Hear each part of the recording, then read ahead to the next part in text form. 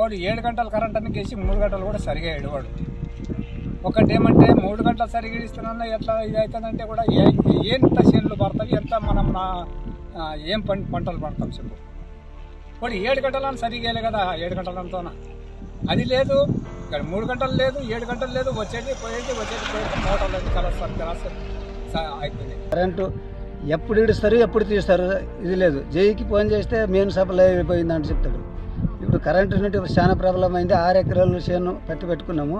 అది రెండు ఎకరాలు కరిగట పెట్టినాము. దీనికి ఎడతామా దానికి ఎడతామా? అన్ని ఇడిచిపెట్టి ఊక అన్ని మూట కట్టుకొని బెంగళూరుకు పోవాలని ఒక నిర్ణయానికి వచ్చినాము.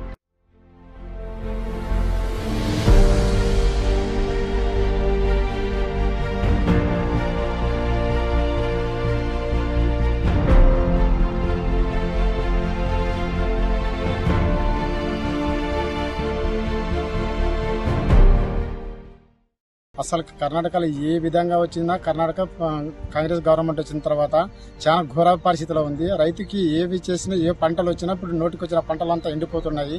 ఇక మళ్ళీ మళ్ళీ కాంగ్రెస్ గవర్నమెంట్ని ఎన్నుకోవడము చాలా పొరపాటు. జనాలలో బుద్ధి వచ్చింది.